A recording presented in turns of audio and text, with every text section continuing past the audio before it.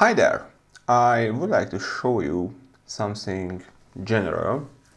Uh, I regularly face with the fact that not everybody uses Autodesk products. So whenever I receive something from outside, it kind of uh, often happens that I receive files which consist of surfaces.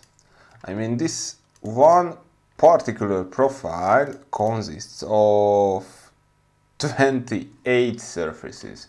So it is kind of messy to work with the steel structure like this.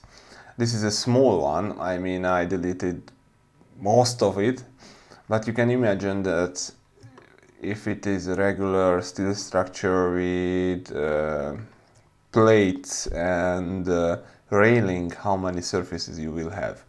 Obviously it will cause problems regarding uh, uh, computing time in the 3D space and especially when you are creating views in the ortho drawings.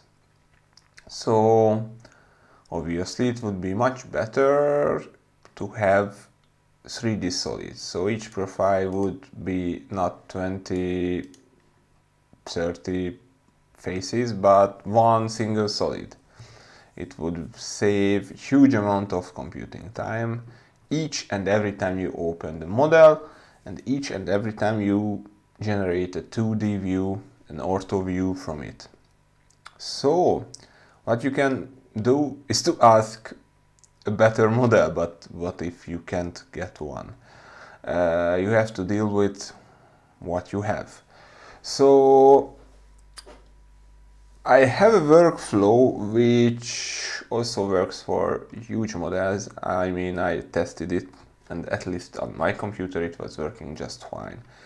So what I usually do in this case is I import this geometry to Inventor. Maybe there is another way to do it, but that was the most uh, simple way I found.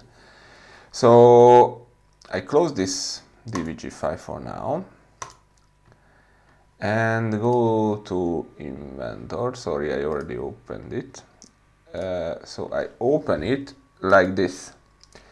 I click on the file and hit options it is very important to hit options and select the import option here and hit OK and open.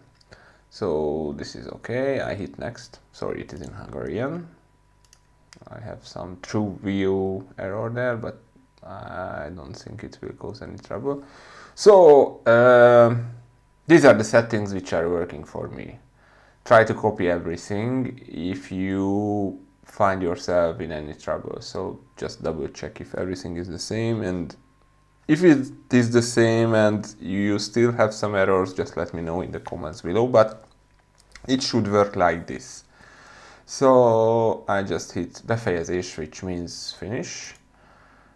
Uh, and I wait for Inventor. It should work fast now because it is uh, quite small file. Okay it is finished already. So in inventor it is also a mess. As you can see if you are familiar with inventor that these transparent stuff are surfaces. So these are surfaces. We are not happy because surfaces are also bad and you don't like it in inventor either. It would generate huge problem in inventor drawing generation too. So pah, you are thinking that we are at the same uh, page in inventor and in AutoCAD. But what I found is in inventor it is very simple to generate solids from closed surfaces and it is working very fast and very efficiently. So I just have to select this sculpt option which basically generates solids based on the closed surfaces. So I just select the total surface. This is just, there is just one surface and hit OK. And basically that's it.